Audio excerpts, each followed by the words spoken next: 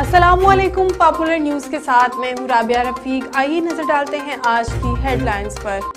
وزیر اعظم عمران خان نے کہا کہ پنجاب حکومت کی حکمت عملی سے پی آئی سی واقعے میں زیادہ نقصان سے بچ گئے۔ وزیر اعظم عمران خان نے وزیر اطلاعات پنجاب فیاض الحسن چوہان کو فون کیا اور پی آئی سی واقعے کی تفصیلات معلوم کی۔ وزیر اعظم نے فیاض الحسن چوہان کی جانب سے معاملہ سلجھانے کے لیے موقع پر پہنچنے کی تعریف کی۔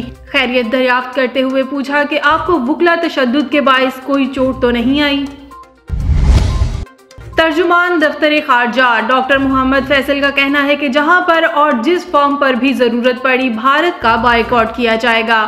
ہفتہ وار میڈیا بریفنگ میں محمد فیصل کا کہنا تھا کہ مقبوضہ جموں کشمیر میں ایک سو بتیس دن سے لاک ڈاؤن جاری۔ بھارتی حکومت تنظیموں کو مقبوضہ کشمیر میں جانے کی اجازت بھی نہیں دے رہی۔ بھارتی لوک سبھا کی قانون سازی انسانی حقوق کی خلاف ورزی ہے۔ بھارت میں شہریت سے متعلق قانون سازی سے اقلیتوں کے لیے سیکیورٹی کے شدید خطرات پیدا ہو چکے۔